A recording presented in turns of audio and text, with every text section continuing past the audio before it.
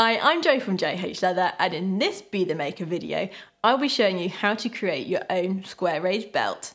Let's get started.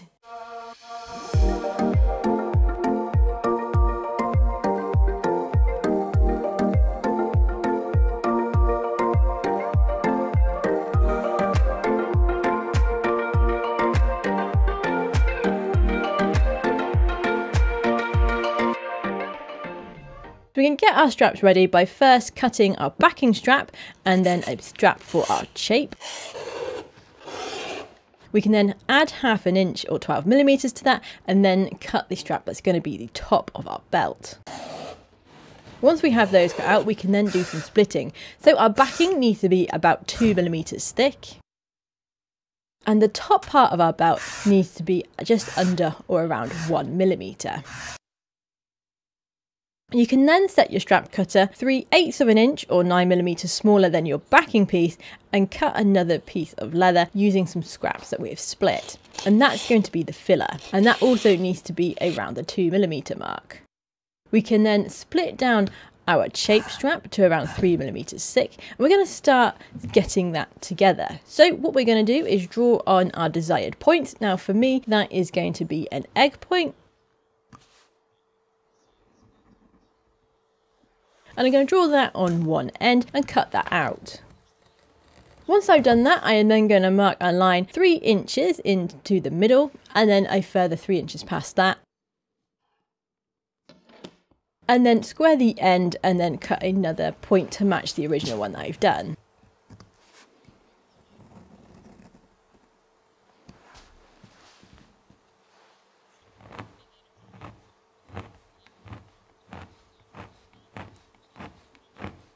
Once we've got that cut out, we can grab a number one edge tool and edge all around the grain side before marking a quarter inch line all the way around the back.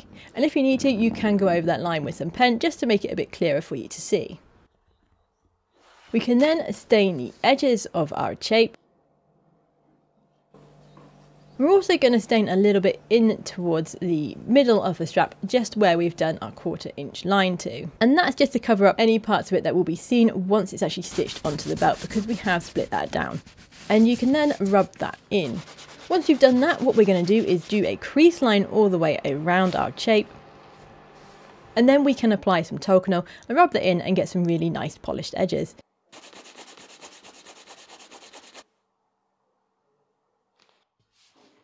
What we're going to do now is actually put some reinforcement tape on the back. Now this is just nylon adhesive and there'll be a link in the description as to where you can get that from. And we're just going to put that on the back of our shape. And we're going to shape that around the points as well. We can now draw on our guidelines for our crew punch to make sure we get that nice and central in the strap.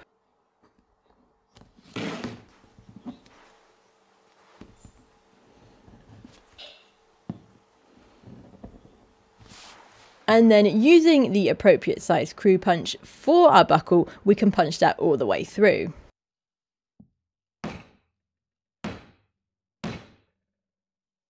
We're just going to put that to one side now as we get on and set up the main part of our belt. So we're going to grab our backing and square the end first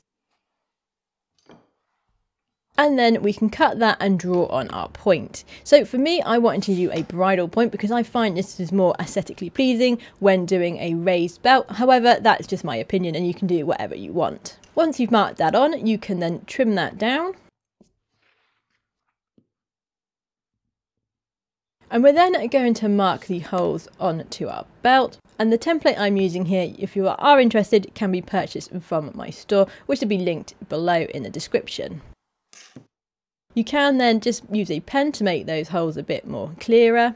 And we're going to mark the overall length of the belt. Now I'm making this for me, so I'm going to do 34 inches and I'm going to draw a mark where the ruler ends and that is from the center hole from the ones that we just marked.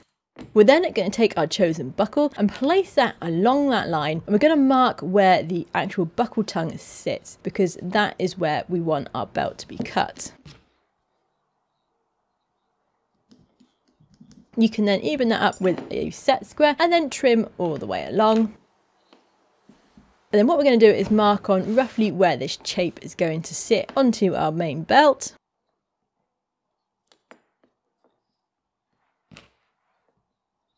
And we're going to mark this because we don't want to have the filler go under where our buckle is. We can then set our dividers to 3 millimeters or 1 8th of an inch and draw a line down both sides of our belt and follow that with a pen before putting on some more nylon reinforcement tape.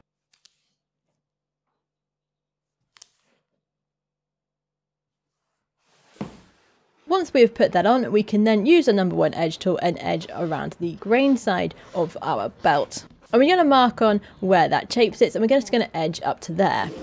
We can then put some stain on and get that polished in. And we can now get our filler prepped. So what we're going to do is we're going to copy over the tapering from our belt.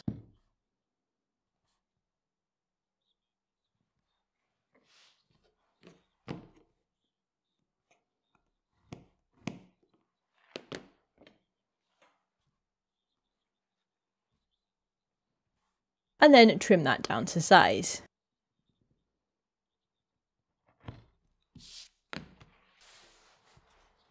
So I'm just going to reapply my pen mark for the shape. And then measure out the filler.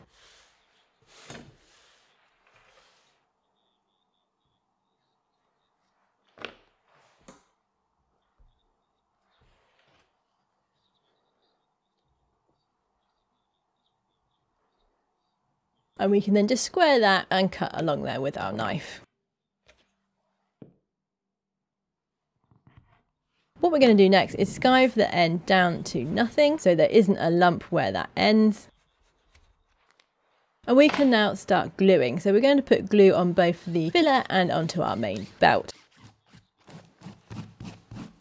I am just going to use an air gun just to help my glue go off.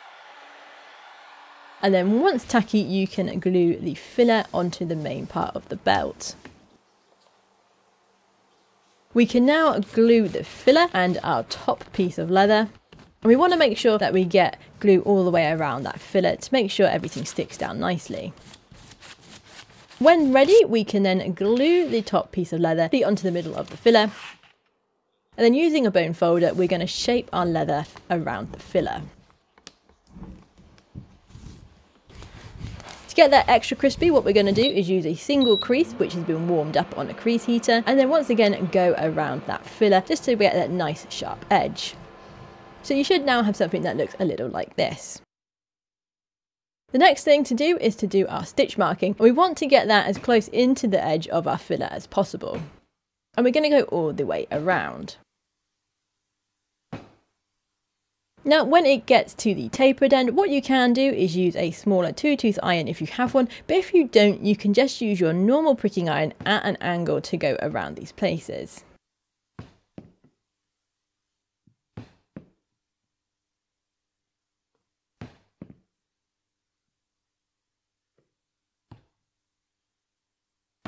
And by doing our stitch marking before we do any trimming, this is going to make sure that our top piece of leather is nicely stuck down onto the rest of our belt.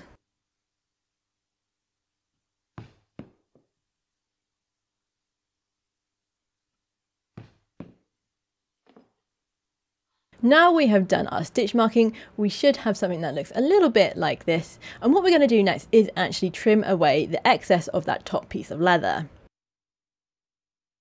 So what we're going to do is put our filler up against an item that is about the same thickness, which for me is my cutting board. We're just going to trim off all that excess. And what you can do now is use some crepe rubber and just rub the edges to get rid of any excess glue.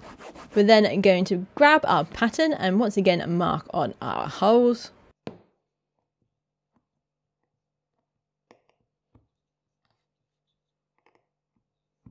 Once we've done that, what we're actually going to do is mark a divot area where we can cut out a bit from the end of our belt, which is what's going to help our buckle tongue to sit nice and flush with the leather. So we're just going to do that with a crew punch. And once you've done that, you can see our buckle now fits nice and snugly with the rest of our belt. We can put that to one side and then we're going to double hand stitch all the way around our belt.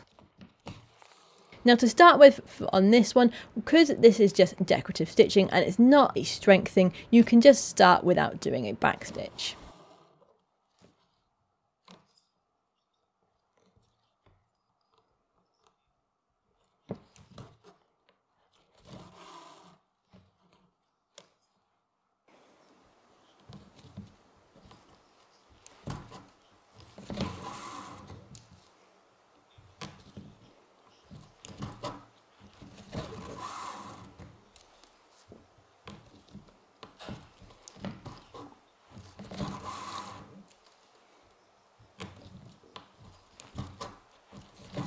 Now to make this easier for yourself, what we can do is actually use multiple lengths of thread. So for me, I like to take a double arms width because that is the most amount of thread that I'm comfortable with using without it all getting in the way and just flapping around and being a nuisance. When we do get to the end of that thread, what we're going to do is do one and a half back stitches and trim them off. And then we're just going to start straight away with our new thread.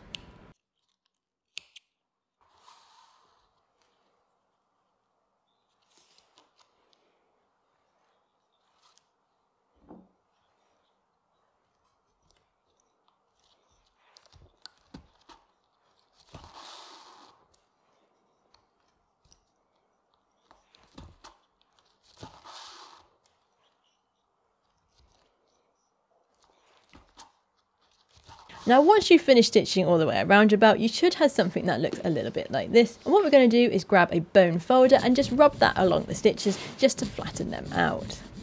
Once we've done that, we can then sand the edges. Now I am going to be using my burnishing and sanding machine that I got from Jess Woods, which there is a link in the description below if you're interested in one of those.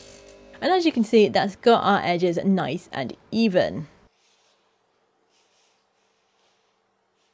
We can then use our number one edge tool and edge all the way around the new grain side of our belt. And then we're going to do some finishing touches. So we're going to restain all around the belt.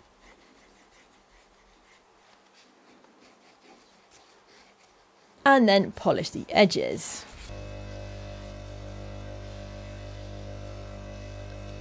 before applying some Tokonole and giving the edges a final polish to get them looking really nice, shiny and smooth.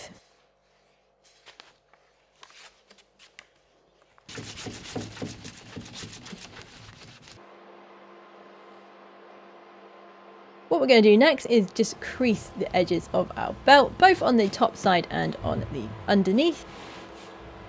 And then we can start to attach our buckle shape.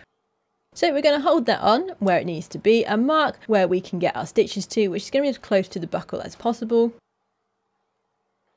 And then we're going to transfer that to the other side of our shape with our set square and with our divider set to 3 millimeters. What we're going to do is draw a line between the two. Now a little later on I decided to use a metal loop for this. So if you're going to do that you would want to mark around that first. You can then skive the edges of the shape down to half thickness on both ends.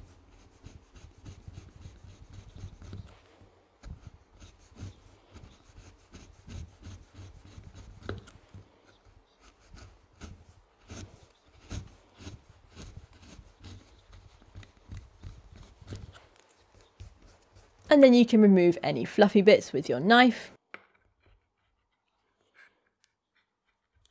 Before putting glue on both sides of this and onto the end of the belt. Now what you can do, you can also rough the area up here which will help the shape to stick a bit better, which is what I should have done on this one. Once the glue has gone tacky, you can then stick your shape in place along with your loop if you're using a metal one.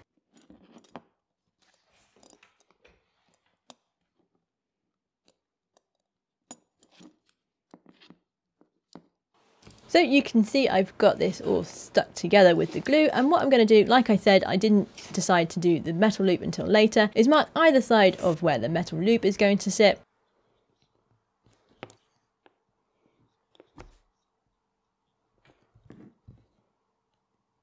And then I'm going to stitch mark between those points. So there we a gap in our stitching.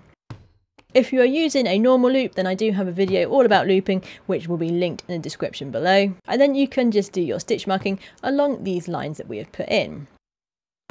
because I have an egg point on mine, what I'm going to do is actually stitch mark from the center of that point up into where I want my stitches to finish to make sure that that starts and finishes in the center.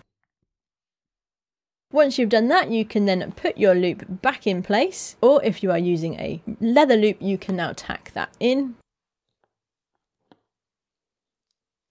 And now we can start stitching the shape on. So because, like I said, I've got this metal loop, what I'm going to do is stitch on front of that first. So usually I would start with two back stitches and I did on this, but in hindsight, you only really need one back stitch if you have three stitches in total, just so that when you do your back stitching to finish, everything will have two sort of lets of thread over rather than the three which my center stitch did have. If you've got four stitches in front of your loop, however, you can do two back stitches to start because you're going to finish with one and a half so that everything will look the same.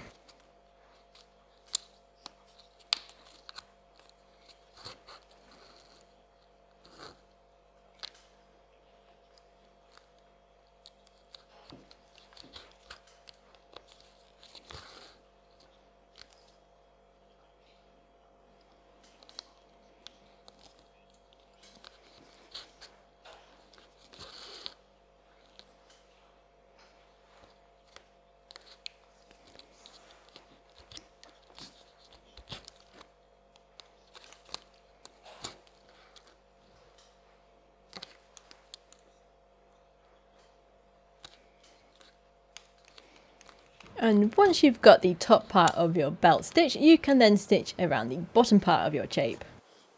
And again, we're going to be using double hand or saddle stitch method for this. And here I am starting with two back stitches because I will be finishing with one and a half on the other side. And so these two sides will now both match.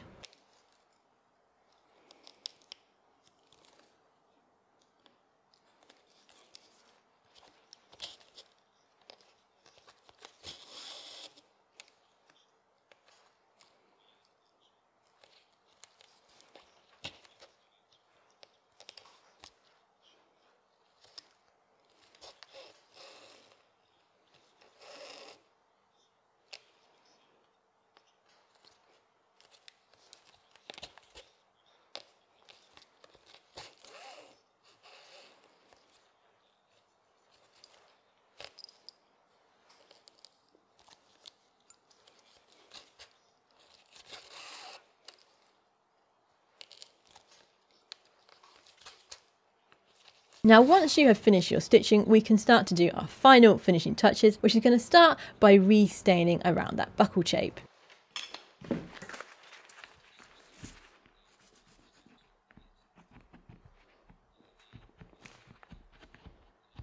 Once we've done that, we can then use a bone folder just to rub those edges nice and shiny.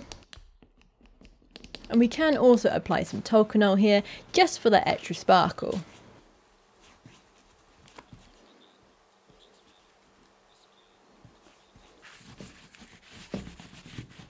And now we're going to recrease all the way around the shape on both the front and the back part of our belt.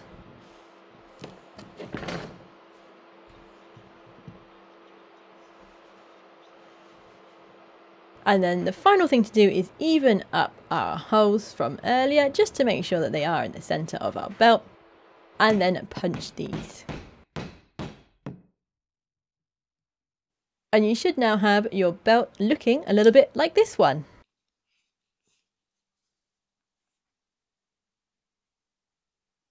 So that is it for this video. I hope you enjoyed watching and if you did, please click the thumbs up button and if you haven't already, please subscribe for more videos and tutorials because that really helps grow the channel. If you would like to support us further, then I have just released my new Be the Maker line of merchandise, which is going to be linked at the end of this video and in the description. So thank you very much for watching and I shall see you in the next video.